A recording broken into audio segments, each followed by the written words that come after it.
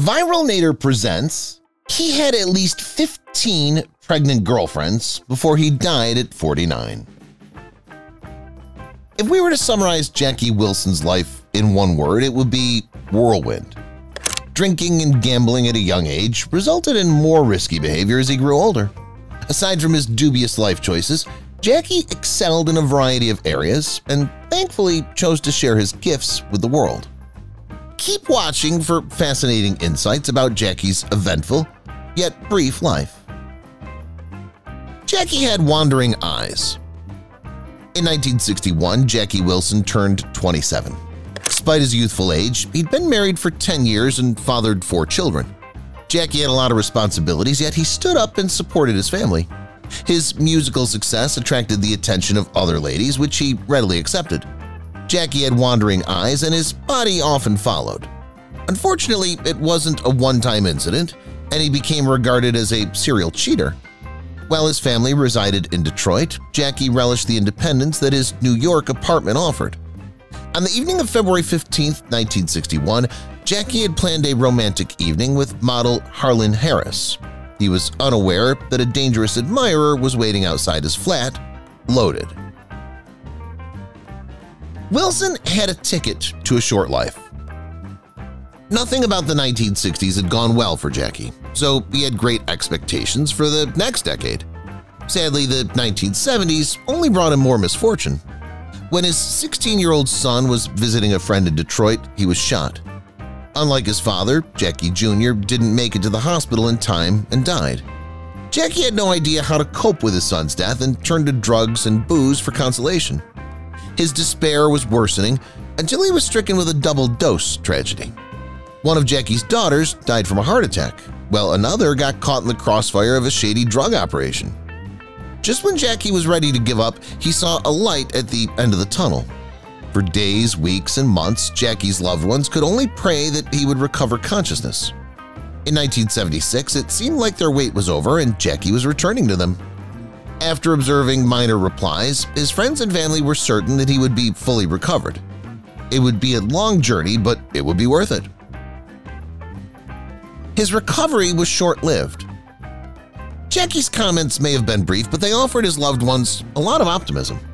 Unfortunately, his recuperation was put on hold when he relapsed into a semi-comatose condition. Jackie'd been in the hospital for many months and the expenses were stacking up. The trouble was that he was once again about to become bankrupt. The singer had fallen into a coma before receiving his $1 million from Nat.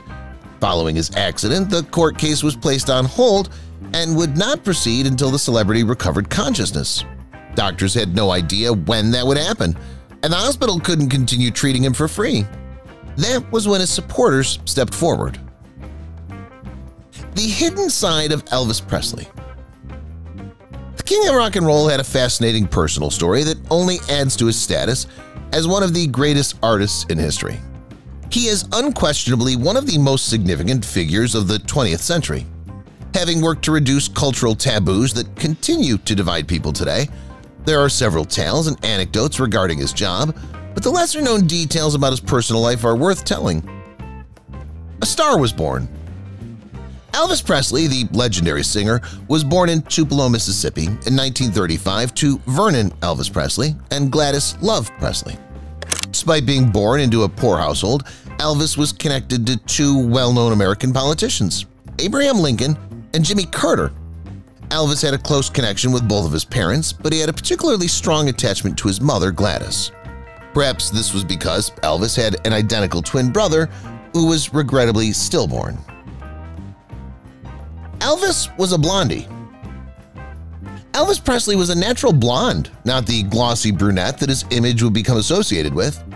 Most likely, he began dyeing his hair in his teens to contrast with his surroundings and project a more dangerous image. According to tradition, a local DJ played Elvis's song That's All Right 14 times in a day. Memphis listeners adored it and couldn't believe Elvis was white. Elvis's only black feature was his hair, which he achieved using shoe polish. His rise to stardom Presley's big break came in 1956 when he signed with RCA and released his first album. He was formally dubbed the King with the publication of Elvis Presley, which was considered the first rock and roll album to reach number one, setting the door for a new age of music. It remained there for an unprecedented 10 weeks in 1956. It's well known that Presley didn't write the majority of his songs, but he made sure to include his signature rock and roll beat into each one. When the Army came knocking Even though Elvis Presley had achieved stardom, he still had to serve his nation. He was conscripted into the United States Army in 1958 and served until 1960, when he returned to the United States. Elvis was a member of the 3rd Armored Division stationed at Friedberg, Germany. Despite being immensely renowned at the time of his service, Elvis never sought to be anything other than a regular soldier and never requested special treatment from his fellow troops. His Army salary was given to charity. Being apart from his mother Elvis had a particular affinity with his mother, and even as he grew older, she remained his greatest friend. Even though Elvis was an adult, the two were known to communicate in baby language. While in Germany, he got the devastating news that she had hepatitis, and he was allowed time off to see her. Elvis returned to the United States to see his mother, who died just a few days after his visit. She was just 46 years old when she died of a heart attack, and Elvis was allegedly saddened beyond words. Taking his mind off the tragedy, Elvis met the person who eventually healed his grief following the death of his mother when he was in Germany. He'd thrown a party at his Bad Nauheim home when he met 14-year-old Priscilla Beaulieu. Despite being associated with a gorgeous 19-year-old German girl named Elizabeth Stefaniak, Elvis was entirely in love with Priscilla, and eight years later she flew to the United States and married the king of rock and roll at the Aladdin Hotel in Las Vegas. The couple had a daughter, Lisa Marie Presley, a year later. The unavoidable divorce Just a few years after their wedding, Elvis and Priscilla realized it was time to call it quits. Despite having a child together, they recognized their family would never be happy together. Therefore, their divorce was formalized in 1973. Priscilla acknowledged that she thought she had lost out on her greatest years by marrying so young and that she wanted to discover herself. She also admitted that Elvis had little intimate interest in her, especially after the birth of their daughter, which was one of the reasons their marriage failed. Some psychologists attribute Elvis's intimacy issues to his dependent relationship with his mother. Nonetheless, the two remained friends. How did he die? The initial official declaration made to the public was that Elvis died of a heart attack, which was widely believed for many years. However, in recent years, it's been uncovered that Elvis went to the dentist the night before his death and was given codeine to ease his toothache. After his death, it was determined that he had 10 times the typical amount of codeine in his system. Dr. Nichopoulos, the king's doctor, stated he was unaware that Elvis had ever used codeine. The intimate side of Elvis's life Elvis also had a friendship with famed singer Petula Clark, something you may not be aware of. According to Petula, he wanted them to be something greater, Clark said that Elvis had previously requested her and Karen Carpenter to join in some intimate group activities. They were contacted by the king while on a ladies' night out and eventually refused his offer. Even though nothing transpired between them, Clark said that although they sometimes flirted, she never had an affair with Elvis. Having the king for a father Lisa Marie Presley was raised in the lap of luxury since her father was one of the most renowned persons in history. Her parents were split, so she had to spend time with each of them individually. But Elvis and Priscilla remained friends long after their divorce. Lisa Marie chose to follow in her father's footsteps since she had three studio albums under her credit. Even though she hadn't released an album since 2012, it was encouraging to see a younger Presley was still having an impact on the music business being Elvis's granddaughter. Riley Keough, a prominent Hollywood actress, is arguably best known for her roles in Magic Mike and Mad Max Fury Road. But did you realize she's Elvis's granddaughter?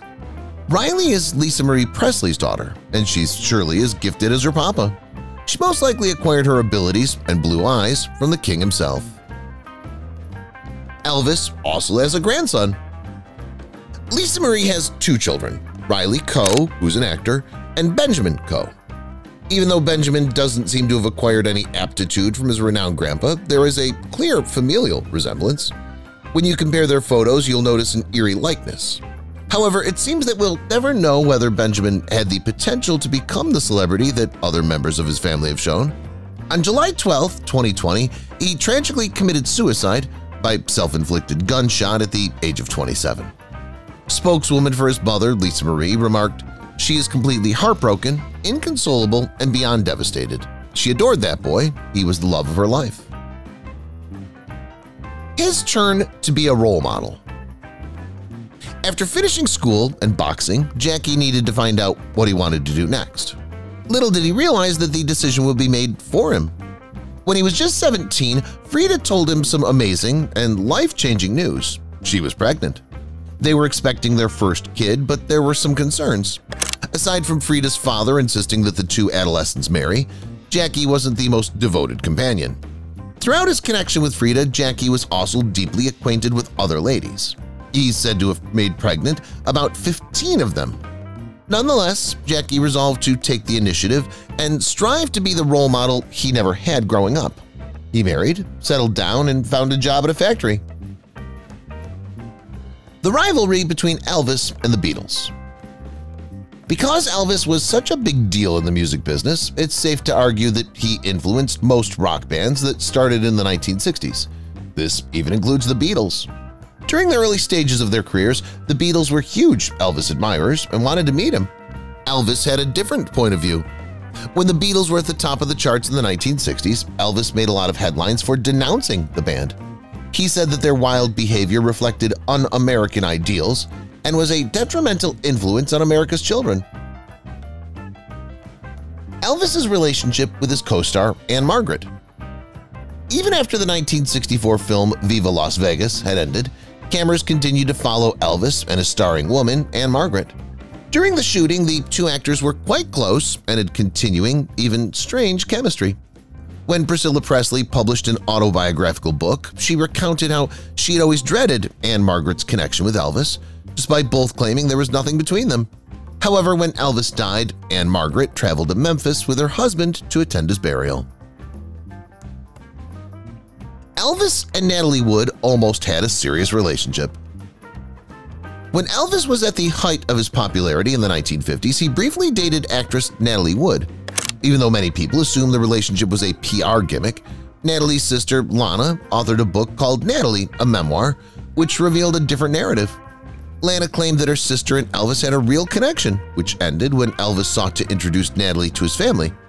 Natalie allegedly labeled Elvis's mother, Gladys, as a jealous woman, and the two stars' romance ended there.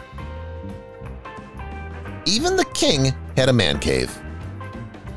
Elvis had one room in his estate, Graceland, that he treasured and spent most of his leisure time in. Until recently, only a few people outside his family had ever seen this chamber, which has been preserved and appears exactly as it did in the 1970s. However, one star has gone inside the secret room – Nicolas Cage. Cage married Lisa Marie Presley, who supposedly showed him Elvis's legendary man cave. Elvis was a black belt karate master. Elvis enjoyed karate as a young guy. Because of this, he stayed in shape and never gave up on his aim of becoming a black belt. He began his training in Germany while serving in the army where he intensely studied the combat technique Chito Ryu under the severe guidance of Hank Slomanski. When Elvis returned to the United States, he established his dojo in Memphis, the well-known Tennessee Karate Institute, which still operates today. The King almost never performed a show outside the U.S. By the time Elvis made it into show business, he was a global phenomenon. Everyone wanted a piece of the King. Heartbreak Hotel and That's All Right were huge successes, and people all over the globe were singing his songs. Yet Elvis never performed outside of the United States, much to the dismay of his international admirers. Although Presley performed in Canada in 1957, he never did a single performance outside of North America. Nobody knows why. According to rumors, Elvis's manager, the Colonel, was not fond of frequent travel, which contributed to Elvis's grounding in the United States. The Colonel himself When Elvis was conscripted at the height of his stardom, Priscilla was terrified that it would jeopardize his musical career. She urged him to join the Special Service, where he could have performance privileges and play music for the Army, get press feedback, and most importantly, enjoy increased safety in comparison to the Army itself. But his management disagreed. The colonel was a real showbiz clairvoyant, accurately predicting that Elvis's service in the Army would enhance his image as an American hero and increase his popularity with the public. Elvis made an excellent choice for his management, Colonel Tom Parker was one of the most successful managers in the history of American entertainment. But Tom Parker was not his given name. Parker, a Dutch immigrant called Andreas van Kuijk, kept his true identity concealed from the public. He was never naturalized as a U.S. citizen, which may explain why he never wanted to go outside of the nation with Elvis. He may have had difficulty re-entering. Elvis was involved in more than 30 movies, Elvis's nickname Pelvis was immediately replaced by King in 1956 when he demonstrated his musical abilities. Women screamed, men swooned over him, and everyone wanted a piece of the king. He also showed skill in another area of entertainment. Elvis appeared or featured in more than 30 films in his career. His on-screen debut in 1956, Love Me Tender, revealed a new side to the star, and he appeared in 27 films during the 1960s. The King's Secret Phobia Elvis Presley valued cleanliness and sought excellence in terms of hygiene and appearance. He was arguably the most germophobic person in rock and roll history. The bad boy guitar-playing hero was terrified of germs and grime, according to Priscilla, in a Daily Mail interview in 2015. He disliked eating or slouching when he visited his pals, always carrying his utensils and cutlery, and drinking only from where his cup's handle was. Elvis never saw Priscilla without makeup. Elvis believed in the mystique of feminine beauty and had never seen Priscilla without makeup. For Priscilla, however, this was typical. She once stated, men don't want to see what a woman has to go through to get where she is. They want to see the product, the result. In another peculiar divide, he never wanted to see me getting dressed. He wanted to see the result of getting dressed, Priscilla said. Rather than upsetting her, Priscilla realized Elvis merely intended to stress the delicacy of the secret. The king was generous. In contrast to his extravagant lifestyle, the king of rock and roll was a charitable guy. He always saw the colonel as a father figure who had helped him launch his career into the stratosphere of stardom. Elvis made sure he was compensated in kind by giving him half of his profits during his musical career. Aside from the colonel, Elvis was renowned for giving out numerous presents and assisting friends and relatives in need, as well as strangers. He was giving, and he demonstrated his generosity brilliantly, frequently by pranks and theatrical gestures. Elvis battled to stay young. Presley's latter years were marked by personal struggles with narcotics and weight gain, during which his last efforts to remain young failed. Many feel that this was his undoing, Presley was persuaded that he could preserve his career by remaining youthful at any cost. It was certainly not simple. According to Linda Thompson, Elvis had a facelift when he turned 40. He also apparently elected to undergo a two-week sedated phase, a risky form of weight loss that included the use of several medications and injections. It was a hazardous period for the rock star in his current location. He was bedridden, leaving his bed only to wash or use the lavatory, and he ate very little. The Book That Killed Presley Before Elvis Presley died, a book called Elvis What Happened was composed of three of his former bodyguards. The book revealed numerous details and secret truths about his personal life. It was a shock technique, yet it was still considered a reputable source. When Elvis learned about it, he quickly sought to prevent the publishers from publishing the book, which indicated how far he had fallen. He tried all he could to keep his reputation and dignity intact, but it was in vain. The book revealed his many health difficulties, including an enlarged colon, high blood pressure, liver damage, glaucoma, and other diseases that he attempted to conceal from the public eye. If you've watched the video till here, that means you've enjoyed the video. Subscribe! Don't forget to turn on the notifications bell icon